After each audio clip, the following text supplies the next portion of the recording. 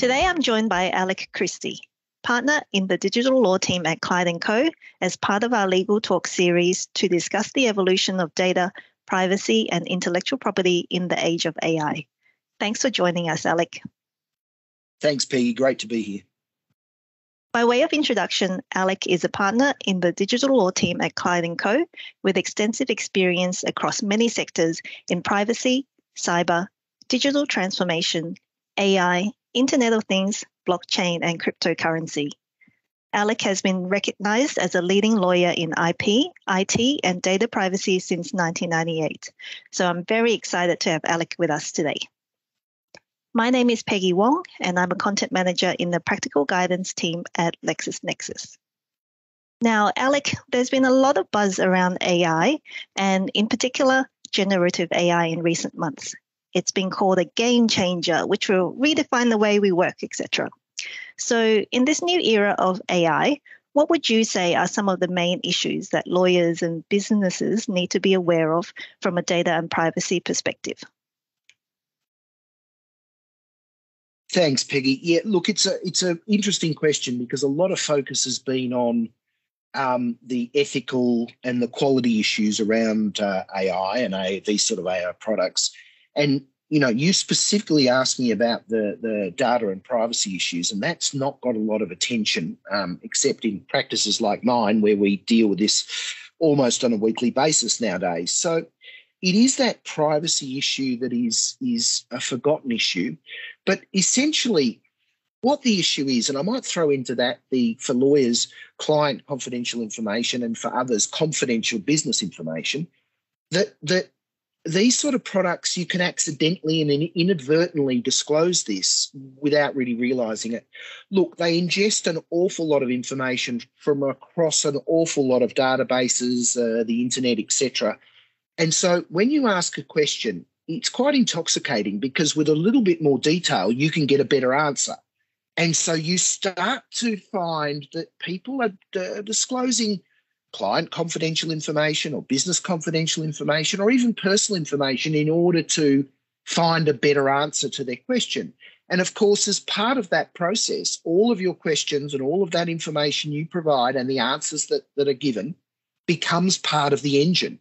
So that if I was doing something about one of my clients, Peggy, or, or an individual, and I gave a little bit of detail about uh, uh, you, for instance, then people outside of that relationship, and another law firm or a business, or generally people just using it, could actually start to have that personal information or client confidential information that I put into the system come back in an answer that was to maybe totally unrelated.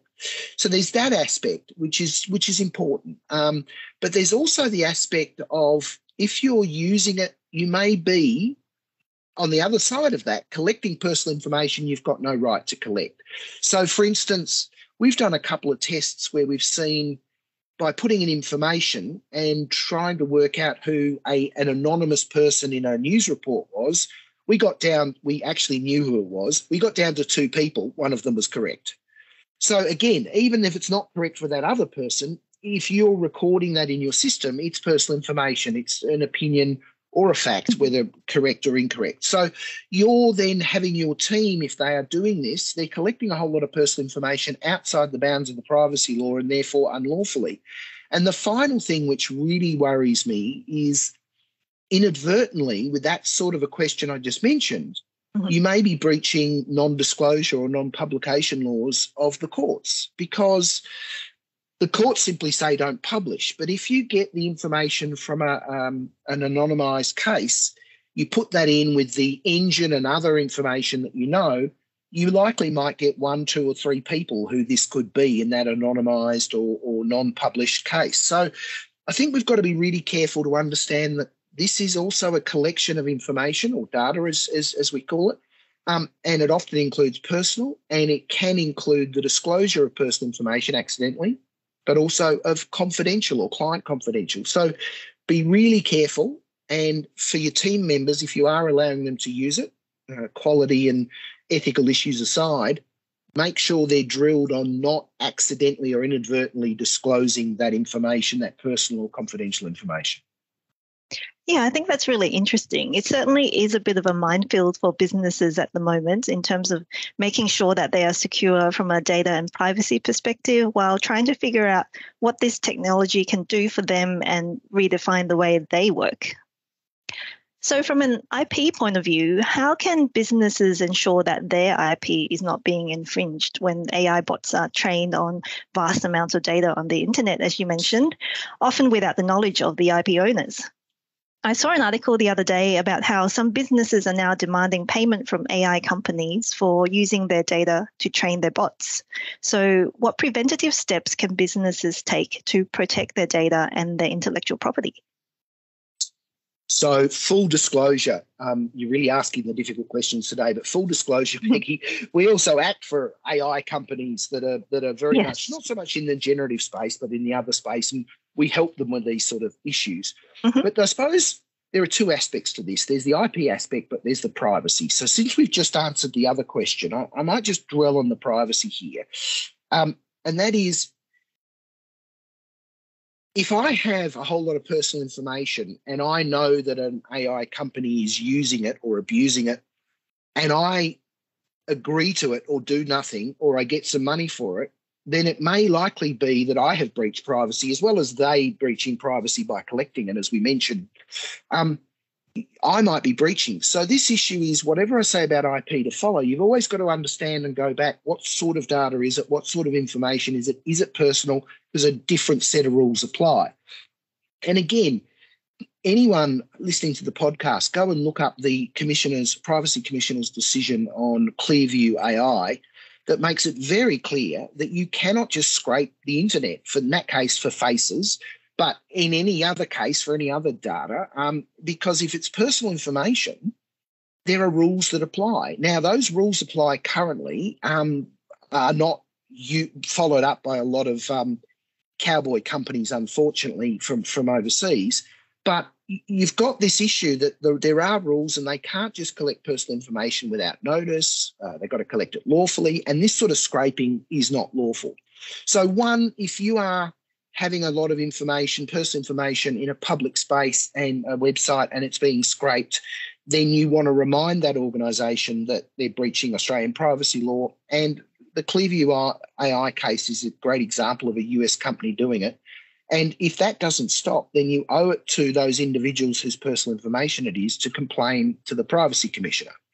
On the IP side, it's a really interesting one. I've seen quite, I saw that article too, and it's a really good thought provoking article. And mm. again, as a lawyer, I got into the weeds. And as you well know, Peggy, we yeah. don't really have um, um, copyright law for data per se. It's it's possibly in a database which has unique uh, characteristics or a unique set of data, and then the copying of the whole database. But ripping off just bits or items, a birth date uh, or other sort of particular data doesn't attract copyright um, protection in this country.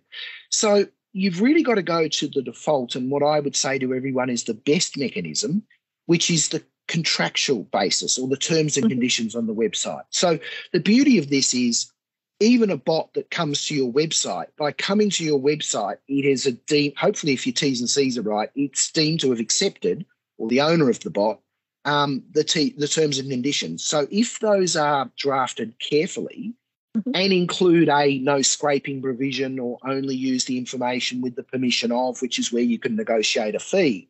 So again, assuming it's not personal information, you, you impose that and you get a much wider coverage than you do under copyright law. So I actually tell clients to focus much more on the contractual. Now, if they've taken a huge slab of text, and that's hard to prove in the AI space, but if they have, then you you do have copyright protection for for that, but much easier, much better. Do it as a contract. And look, some of the organisations mentioned in that article, some really big media organisations, that's the way they mm-hmm. operate, and that's the way they get you. That the contract, your terms and conditions for use of the website, use of the materials, use of the tool, use of the database, mm-hmm. specifically provide no scraping, no copying, no reuse.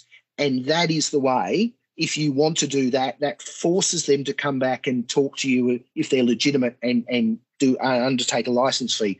Of course, if they're offshore and in a difficult jurisdiction, You may have those terms, but then you would have to sue them for breach of contract. And that's where the difficulty lies. How much are you potentially going to get in terms of how much cost benefit um, is it going to cost you to, to, to proceed after them? So that's that's the concern. Well, I'm sure after this podcast, everyone will be taking a closer look at their T's and C's and contracts. Absolutely. Definitely. They definitely should do. Yes. Yes. Definitely pays to get on the front foot and take those preventative measures to, to protect data and IP before anything happens. But what about after the fact? What should businesses do if they realize that their data has been used to train a bot without their consent and it poses a risk to their business? Yeah, look, as I mentioned, Peggy, where it's personal information, they should send what's the equivalent of a, a cease and desist for, for personal information or, or breach of privacy. Mm-hmm. If they get no joy, they should probably be complaining to the uh, Privacy Commissioner, the OAIC. Mm-hmm. Um, if it is, if it isn't personal information, then obviously look at what your terms and conditions say. Fix them, as you said, if they don't say the right thing. But if they do cover that contractual basis that we mentioned, then again, this sort of cease and desist letter, or you know, come and talk to us. Let's uh, let's organise a commercial deal. But mm-hmm. again, outside of um, outside of changing your T's and C's or enforcing your T's and C's if they're good enough, um, there's not a lot really you can do to protect yourself from this. And I believe there are technologies that are anti-bot uh, or anti-crawl. Mm-hmm. Again, whether that's worth it to to implement it, but I think you've got to be conscious that your first best step is to make sure your terms and conditions are right. And if they're not, after this happens, please change them quickly so that it is. yes. And as I say, with any personal information, you owe a duty to those individuals, probably your clients or your customers, to actually um, raise it with the provider or the, the AI company. And then if you get no joy, to raise it with the privacy commissioner those are really great practical tips for businesses who find themselves in trouble. Given that this is uncharted territory for a lot of companies, it really helps to have that guidance on what to do if their data has been compromised. What we're seeing an upswing in, which I kind of think is actually a pretty good idea. At first, I was very dismissive. I'm a dreadful, dreadful lawyer to have uh, if you're a client. I was very dismissive of a of a sort of a um, generative AI use policy and now, having done a few and having seen them, actually, I've changed my mind. I'm a dreadful person. I now think they're a fabulous idea. So that is, don't don't let it go randomly across the business. Some areas do, some areas don't. We don't know what's going on. Actually, think about, you know, the, the when we when we can use it in a business, why we use it, what are the privacy issues that you need to watch out for, what are the other issues, what are the contract issues, what's going to happen. So again, we don't have to overdo it, but just that there's some thinking at the man, senior management level um, that actually distills what a particular organisation's policy is in terms of use um, of these sort of products. Yeah, so it seems management really does need to carve out that time to to put their minds to these issues, um, and get advice when necessary. Oh now, yes, please. now, some say that our existing regulatory system was not designed for a world with AI. Do you think our current laws are sufficient? And what is the future of AI regulation in Australia? Will Australia follow the US, EU, Asia approach, which is more regulation heavy? Or do you think we will go with a more light touch UK approach? Or will we just develop our own system altogether? Wow, another great question, Peggy. I wish I had a crystal ball to tell you, but look, let me let me confess. I am the sort of person that thinks that if it's at all possible, we're better to uplift or tweak our current regime to deal with these issues rather than uh, a, wholesale omnibus AI law. Because, you know, let's be honest, in our experience of bringing in laws that that change an entire area, and even though there's bits and pieces in other laws, we, we've not been very successful. That's the pessimist in me. But look, I'd like to think that we could actually work out what the issues are we need to to regulate. What are the problems? Because there's a whole lot in AI that's non-problematic. There are some bits that are problematic. So maybe taking the privacy example, looking at the privacy law, as I said earlier in one of my answers, the rules are there. Uh, they cover AI. They're not specific for AI, but they cover AI. So maybe you could put out guidance. They're not being followed by many companies, unfortunately, but maybe a big case like the Clearview AI case would, you know, under the shadow of a new $50 million fine for privacy mm-hmm. breaches, maybe that will get people's attention. So I think it's educative. I think it's tweaking laws where, where necessary. But I think the first issue is to think about what are the problems? What are the harms we want to solve for? Because it's not necessarily everything. We could let AI run until we get to a point where we need to then regulate it in a specific space. Because again, the omnibus provisions don't always get rid of all the other provisions in other laws relating to that topic. And usually, um, this is very pessimistic, but they're out of date in six months. And so you've, you've got this issue. So for me, you know, Privacy Act is an example. Its vagueness is both a good thing and a bad thing. I won't talk about the bad. Everyone knows what, what vague laws mean, but vagueness is it covers innovations without being specific to that innovation. You can make the principles, the Australian privacy principles, for example, fit. So I'm hopeful that we'll have a an intelligent conversation and then a look at what laws we have, uplift those laws, if absolutely necessary, a new law. But you know, whenever we do a wholly new law, we tend to get a new regulator. And to be quite frank, I think we've got enough regulators in Australia at the moment looking at these sort of peripheral issues. So hopefully a tweak, not the sort of um, wholesale European US model. Probably a little bit more like the UK, which I understand is is following that path. Okay. Well, that's certainly food for thought. It will be interesting to see which way our regulations go as AI becomes more and more commonplace. Thank you so much for your time today, Alec. It's been fascinating to learn more about the intersection of data, privacy, and artificial intelligence. I look forward to seeing where this new era of AI takes us.